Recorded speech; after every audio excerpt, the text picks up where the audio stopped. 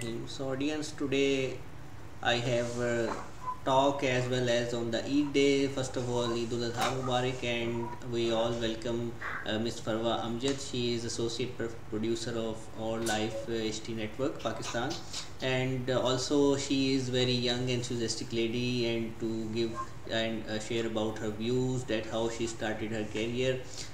ये सारी चीज़ें तो हम इनके साथ डिस्कस करते रहेंगे। सबसे पहले तो इनसे पूछेंगे कि आज ईद का भी दिन है और हमारा जो एक शो है आई होप कि it will be more interactive with the noble day so बताइए कैसी जा रही है आपकी ईद और आपने आज क्या क्या आपका एजेंडा था जो आपने अचीव किया और अभी आपने या नहीं किया या कुर्बानी के अलावा कुछ करना है? पहले तो thank you so much for the warm welcome और सबको मेरी तरफ़ से ईद मुबारक। और अभी तक तो बस कुर्बानी की है और वही गोश्त बांटने का सिलसिला चल रहा है। बाकी पकाएँगे शाम को क्योंकि गर्मी है और ह्यूमिड बहुत है घर में बाहर। तो शाम के ही सारे प्लान्स होते हैं वही करेंगे। ओके। सो फिर बताइएगा आपने अपने करियर का आगाज़ कैसे किया और what you have done actually your academics and why you join media what was the motivation और आपको क्या चैलेंजेस सामना करना पड़े एज वीमेन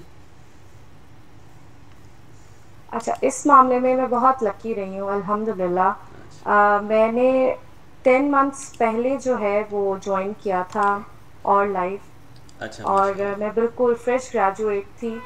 और मुझे और मैं अपॉर्चुनिटी मिली थी एज एन एपी स्टार्ट मैंने किया था एज अ रिसर्चर और मैं स्पेशली स्पेसिफिकली जो मैं हूँ वो ऑर्डर डिसऑर्डर के साथ एसोसिएट हूँ इस टाइम और बाकी शोज़ के अंदर भी आप मुझे देखेंगे।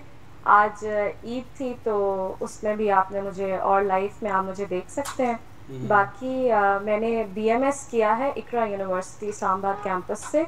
अच्छा, uh, जो था वो मेरा डॉक्यूमेंट्री मेकिंग एंड राइटिंग था। और uh, फिर uh, शौक था बस uh, किसी भी प्रोडक्शन हाउस में जाने का। hmm. तो अल्लाह ताला ने रास्ते बनाए और हम और लाइफ तक पहुँच गए। एज सच कोई स्ट्रगल करनी नहीं पड़ी क्योंकि मेरा ये मानना है कि अगर हम बहुत ज़्यादा प्लानिंग करते हैं ना तो हम कभी भी कुछ अचीव नहीं कर सकते। ये hmm. मेरा मानना है। हर बंदे का अपना पर्सपेक्टिव होता है। hmm. Uh, मुझे लगता था कि अगर मैं बहुत बड़ी बड़ी प्लानिंग करूँगी कि मैं ये कर लूँगी वो कर लूँगी हम्म। ऐसा नहीं हो सकता था। तो बस जहन में बस इतना था कि मुझे किसी प्रोडक्शन हाउस को ज्वाइन करना। अच्छा। तो रास्ते बनते गए।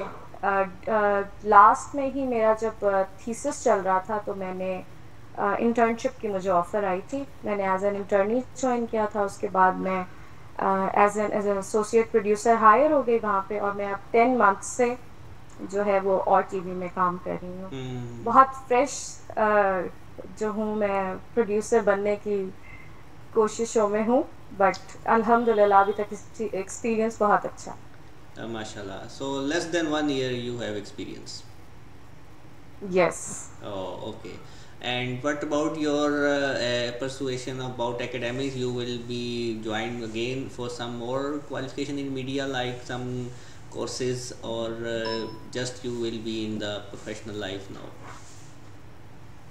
No, I'll definitely join uh, direction. मुझे डायरेक्शन करने का बहुत शौक है सीखने का शौक है क्योंकि जैसे मैंने पहले भी बताया कि मेरा जो मेजर्स था वो डॉक्यूमेंट्री राइटिंग और डायरेक्शन था हाँ, हाँ, हाँ। तो उसमें मैंने मुझे शौक है बट अभी ये फ़ेज़ है ना नए नए आप ग्रेजुएट होते हैं तो आपको शौक होता है कि थोड़ा थोड़ी सी जॉब भी इंजॉय कर लें हाँ तो फ़ेज़ में इंजॉय कर रही हूँ अभी।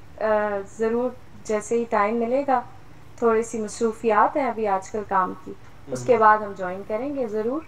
माशाल्लाह। दोबारा से पढ़ाई स्टार्ट करेंगे। जो ये कहा कि हम समटाइम्स अपने प्लान आउट्स कर लेते हैं। नो डाउट कि हम कुछ ना कुछ तो प्लानिंग हर इंसान की जनरली तो होती है टू अप्रोच समथिंग बट या हमें इतना ज़्यादा उस पर वो इंडल्ज नहीं होना चाहिए कि अगर वो हमें नहीं मिला तो हम उस पर डिप्रेस हो जाएँ या अपने आप जो है वो डीमोटिवेटेड हो जाएँ। सो या दैट्स गुड पॉइंट और अल्लाह ने फिर आपकी मदद भी की and you join your appropriate channel और द मीडिया अल्हम्दुलिल्लाह। ओके। और फरवज थोड़ा बताइएगा कि आपका इसके अलावा जो इंटरेस्ट है वो इसमें जैसे डायरेक्शन आपने बताया तो कोई स्पेसिफिक प्रोग्राम्स होंगे जिनको आप डायरेक्ट करेंगी या वो इंटरटेनमेंट होगी या न्यूज़ होंगी क्या होंगी? फ़िलहाल तो मेरा जो फोकस है वो प्रोग्राम्स पर ही है बट इनशाला हम ड्रामास के लिए ज़रूर काम करेंगे क्योंकि जो ड्रामा इंडस्ट्री है वो बहुत ह्यूज है। पाकिस्तानी ड्रामा इंडस्ट्री वैसे भी बहुत मशहूर है तो उसके अंदर ज़रूर अपना सिक्का मनवाना चाहूँगी। तो इसलिए हाँ। कुछ ना कुछ ज़रूर करेंगे। फ़िलहाल कोई प्लान्स नहीं है बट आप मुझे ज़रूर देखेंगे। इनशाला इनशाला बिल्कुल और हमारे जो इन्फ्लुएंस है जो एक्चुअल वैसे तो बहुत सारे हमारे मीडिया इन्फ्लुएंसिंग कंटेंट्स आके हुए हैं बट जो मेजर है अभी भी स्टिल हमारे टीवी ड्रामाज और इन चीज़ों पे लोग बहुत ज़्यादा देखते हैं और उसी से हमारी स्टोरीज भी बिल्डअप होती हैं। तो I think that would be a more good last time मेरी टॉक थी हलीमा के साथ भी और वो भी यही बता रही थी कि और लाइफ का जो है वो कुछ इस तरह से है कि they want to uh, introduce some new thing as compared to other channels. So i hope के they will. हाँ अल्हम्दुलिल्लाह हमें इस चैनल में जो है ना एक बहुत अच्छी ये लिवरेज है कि हमारे जो आइडियाज़ हैं उनको बहुत वेलकम किया जाता है। Hmm. क्योंकि जो बाकी चैनल्स है वही वही पुराना कंटेंट वही सेम तरह का content same dramas same story line यहाँ पे हम लोग प्रोग्राम्स लेके आ रहे हैं। तो उस हिसाब से हमें नए आइडियाज़ हमारे कुछ क्रिएटिव आइडियाज़ होते हैं उनको हमें बहुत ज़्यादा वेलकम किया जाता है। तो हमें भी अप्रिसिएशन मिलती है नया काम करने की मोटिवेशन मिलती है और अच्छा फील होता है। हाँ, बिल्कुल ऐसे होपफुली वो सब ऑडियंस को पसंद भी आए। बिकॉज़ अगर आप एनर्जेटिक होंगे तो that would be able to you can deliver otherwise जो है वो आपके लिए भी इतना रूटीन का ही काम होगा। बिल्कुल, ऐसा ही है। और थोड़ा सा मैं फरवा शेयर करना चाहूँ that my platform is regarding for women and जो हमारी यंग लड़कियाँ हैं इस वक्त और इसमें जो हमारे पेरिफेरल एरियाज़ में भी हैं और जो भी डिफरेंट फील्ड्स में आ रही हैं बहुत सारे क्योंकि ख़वान की वैसे भी आबादी माशाल्लाह से हमारे मुल्क में काफ़ी बढ़ गई है और हमने अपने डिफरेंट प्रोफेशनलिज्म में भी काफ़ी इनको देख रहे हैं। सो so, मीडिया के हवाले से आपकी क्या राय है कि जो हमारी यंगस्टर्स हैं उनको कैसे इसमें आना चाहिए और दूसरा थोड़ा सा जो I would like to ask openly that कि हमारा जो एक ग्लैमर और एक फेस के हवाले से कुछ चीज़ें होती हैं हम कहते हैं मीडिया पे ये इस तरह के फेसेस आते हैं या उनको वो लेते हैं या uh, इस तरह की चीज़ होगी कि कैमरा के सामने आपने ये चीज़ें होनी है और फिर उसमें आपने एक सोसाइटी में uh, वो करना है। तो कैसे आप समझती हैं कि लड़कियों के लिए ये मुफीद है और उनको क्या क्या लिमिटेशंस और बाउंड्रीज भी देखनी चाहिए? बिल्कुल कुछ लिमिटेशंस हैं हमें देखनी पड़ती हैं। लेकिन जहाँ तक बात ग्लैमर की और उसकी है आजकल मेकअप आपके पास है आप हर तरीके का मेकअप कर सकते हैं। आप किसी को भी एक ऑर्डिनरी इंसान को भी आप ग्लैमरस बना सकते हैं। हम्म। तो उस मामले में मैं कहूँगी कि मेकअप या जो आपके लुक्स या फीचर्स होते हैं वो इतने मैटर नहीं करते। आपका कॉन्फिडेंस मैटर करता है आपकी एक्टिंग मैटर करती है। अगर आप होस्ट हैं तो आपकी होस्टिंग मैटर करती है। ओवरऑल आप खुद मैटर करते हैं ना कि आपका दिखना मैटर करता है कि आप कैसे दिखते हैं yeah. Okay. और जहाँ तक बात है बिल्कुल और हमारे जो इन्फ्लुएंस है जो एक्चुअल वैसे तो बहुत सारे हमारे मीडिया इन्फ्लुएंसिंग कंटेंट्स आके हुए हैं बट जो मेजर है अभी भी स्टिल हमारे टीवी ड्रामाज और इन चीज़ों पे लोग बहुत ज़्यादा देखते हैं और उसी से हमारी स्टोरीज भी बिल्डअप होती हैं तो I think that would be a more good last time मेरी टॉक थी हलीमा के साथ भी और वो भी यही बता रही थी कि और लाइफ का जो है वो कुछ इस तरह से है कि they want to introduce some new thing as compare to other channels तो आई होप के दे विल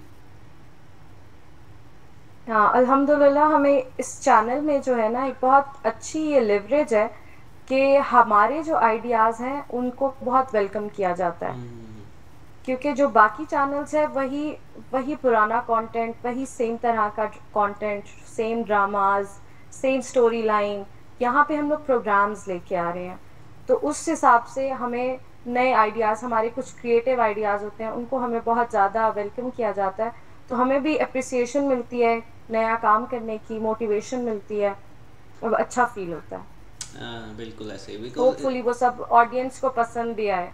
बिकॉज़ अगर आप एनर्जेटिक होंगे तो that would be able to you can deliver otherwise जो है वो आपके लिए भी इतना रूटीन का ही काम होगा। बिल्कुल ऐसा ही है। Uh, और थोड़ा सा मैं फरवा शेयर करना चाहूँ that my platform is regarding for women and जो हमारी यंग लड़कियाँ हैं इस वक्त और इसमें जो हमारे पेरिफेरल एरियाज़ में भी हैं और जो भी डिफरेंट फील्ड्स में आ रही हैं, बहुत सारे क्योंकि ख़वान की वैसे भी आबादी माशाल्लाह से हमारे मुल्क में काफ़ी बढ़ गई है और हमने अपने डिफरेंट प्रोफेशनलिज्म में भी काफ़ी इनको देख रहे हैं।